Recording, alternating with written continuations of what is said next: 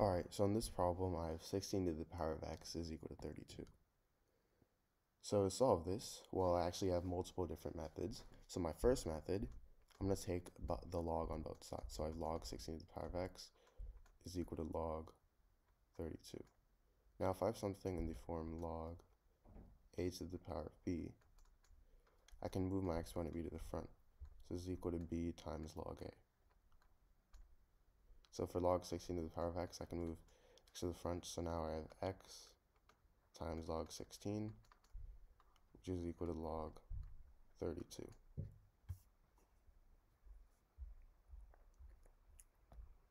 Now, I'm going to divide both sides by log 16.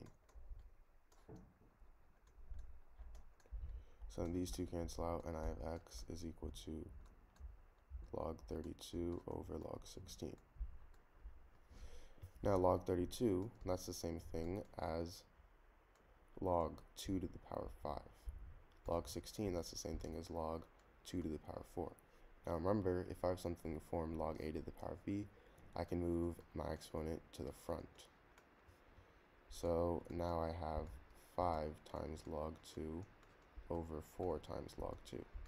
Now these two log 2's can cancel out, so I'm left with x equals 5 over 4. Now, for my second method, I have 16 to the power of x equals 32 again. And this time, I'm going to rewrite 16 as 2 to the power of 4. So I have 2 to the power of 4 to the power of x is equal to 32. I'm rewrite as 2 to the power of 5.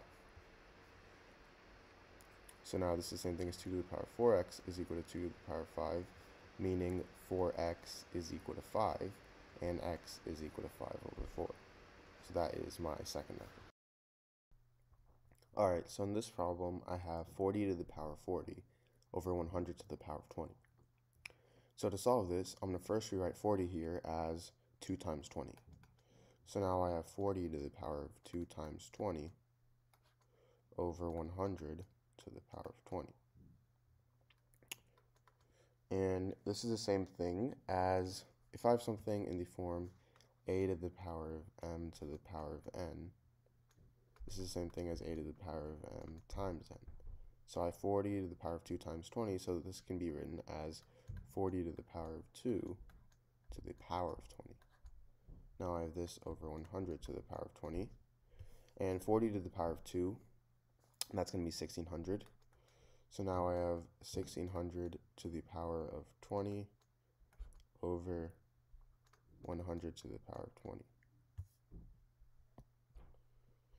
And now if I have something in the form a to the power of m over b to the power of m, this is equal to a over b to the power of n. So 1600 to the power of 20 over 100 to the power of 20. That's going to be 1600 over 100 to the power of 20. And 1600 over 100, that's going to be 16. So I have 16 to the power of 20 and 16, that's the same thing as 4 to the power of 2. So I have 4 to the power of 2 to the power of 20, which is 4 to the power of 40. And now 4, this is the same thing as 2 to the power of 2. So now I have 2 to the power of 2 to the power of 40, which is equal to 2 to the power of 80. Now I actually have a second method of solving this problem. So again, I first start with 40 to the power of 40 over 100 to the power of 20. Now this time I'm going to rewrite 40 to the power of 40 as 40 to the power of 20 plus 20. Now I have this over 100 to the power of 20. And now this is the same thing as 40 to the power of 20 times 40 to the power of 20 over 100 to the power of 20 which is the same thing as 40 to the power of 20 times 40 to the power of 20 over 100 to the power of 20, which is equal to 40 to the power of 20 times 2 over 5 to the power of 20. And this is equal to 40 times 2 over 5 to the power of 20. 40 times 2 over 5, well, 40 times 2, that's 80. And 80 divided by 5 is 16.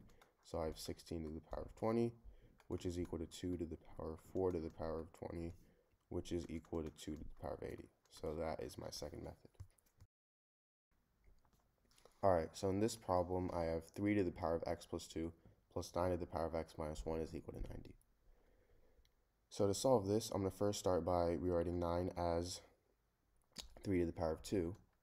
So now I have, sorry, this is a 3 to the power of 2 to the power of x minus 1 is equal to 90.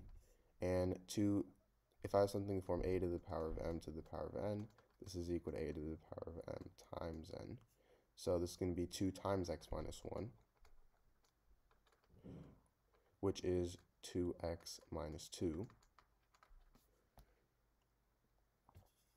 Now, if I divide both sides by, well, first off, 90 here.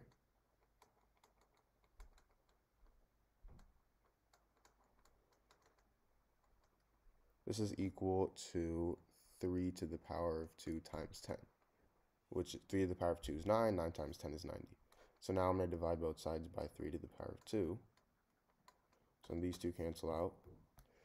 And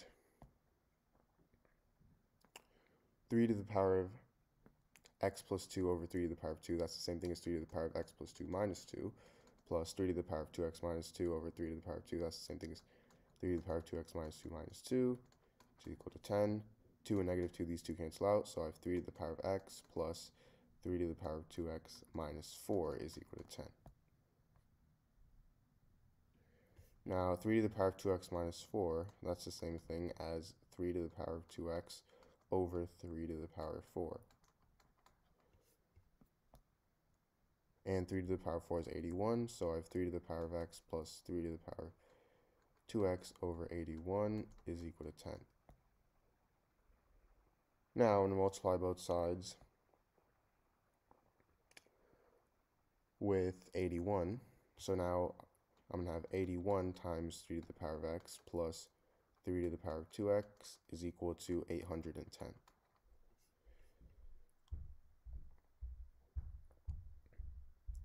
Now 3 to the power of 2x, that's the same thing as 3 to the power of x to the power of 2. So I have this plus 3 to the power of x times 81 is equal to 810. And now I'm going to let the variable t equal 3 to the power of x. So now I have t squared plus 81t is equal to 810. Now if I subtract 810 on both sides, I get t squared plus 81t minus 810 is equal to 0.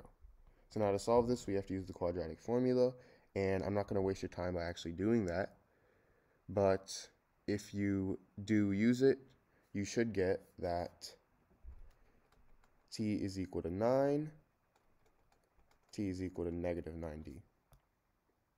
And now remember how we set t equals 3 to the power of x. So meaning if t, t equals 9, then x is equal to 2. And if t equals negative 90, well, you can't take the power of a positive number and make it negative. So x equals 2 is my only solution. Alright, so in this video, I'm going to teach you guys how to solve the problem 50 to the power of 50 over 25 to the power of 25. So I want to find the solution to this problem. So to start, I have 50 to the power of 50 over 25 to the power of 25. And I'm going to first rewrite this as 50 to the power of 25 plus 25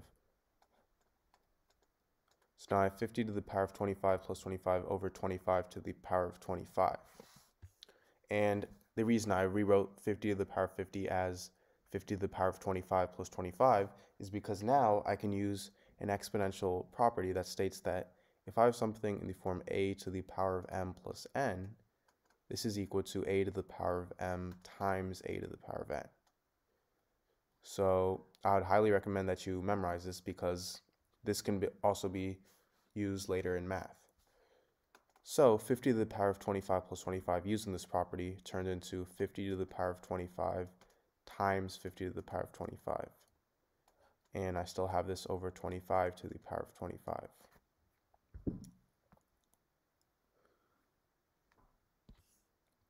Now from here, I'm going to rewrite this as 50 to the power of 25 times 50 to the power of 25 over 25 to the power of 25.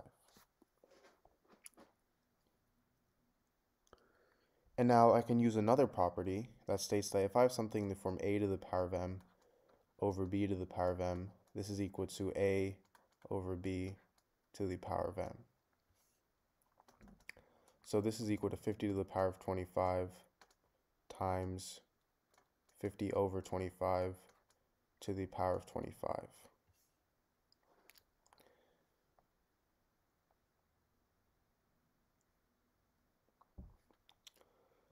Now, this turns into 50 to the power of 25 times, well, 50 divided by 25 is 2. So times 2 to the power of 25.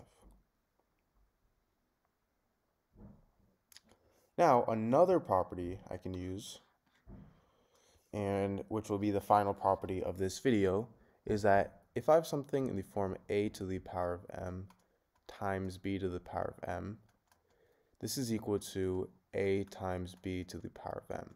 So you are basically just factoring out the exponent. So in this case, I have 50 to the power of 25 times 25 to the power of or sorry, times 2 to the power of 25. And this can be rewritten as 50 times 2 to the power of 25. Now 50 times 2 is 100. So I get 100 to the power of 25. However, I'm not done yet because I'm actually going to simplify this a little more. 100 I can rewrite as 10 squared so I get 10 squared to the power of 25. And if I have something from a to the power of m to the power of n, this is equal to a to the power of m times n. So 10 to the power of 2 to the power of 25 is going to equal 10 to the power of 2 times 25, which is equal to 10 to the power of 50. So 10 to the power of 50 is my answer to this problem. Please make sure to leave a like and subscribe. Also, please share this to your friends if you find this interesting. Thank you.